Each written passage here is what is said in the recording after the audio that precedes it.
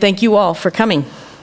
There are a few rules. I have a wonderful, experienced timer, and he will be keeping time with um, questions and opening statements. And they will be two minutes opening statement for each one of our candidates. They will get a, um, a warning at 30 seconds um, so that they can and wrap it up within that two-minute time.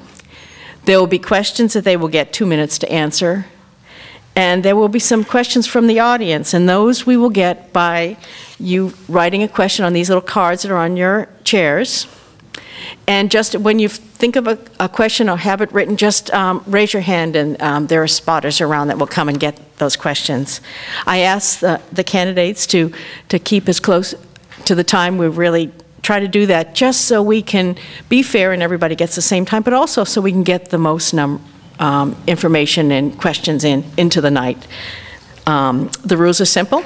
It's civil discourse, and um, and um, I also will try to rotate the speakers. Um, we want everybody to get a chance to get that question first and also be able to answer with the benefit of all the other answers to get it last. So, so we will rotate as we go. We'll start at the front here on the, the far um, right and, and rotate each one of the positions.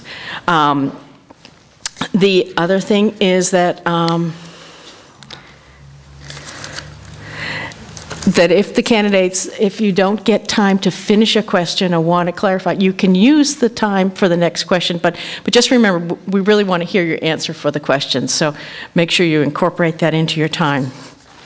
Um, when we have, we have this real um, quick little yes-no questions, and after that, each one of the candidates will have about um, two minutes to clarify their their answers. This is sort of evolved from last year when there were some people say, well, you know, it wasn't really an easy 90 second or 30 second answer. So, so after we do the, the yes no questions, we'll give each one of the candidates a chance to go through again.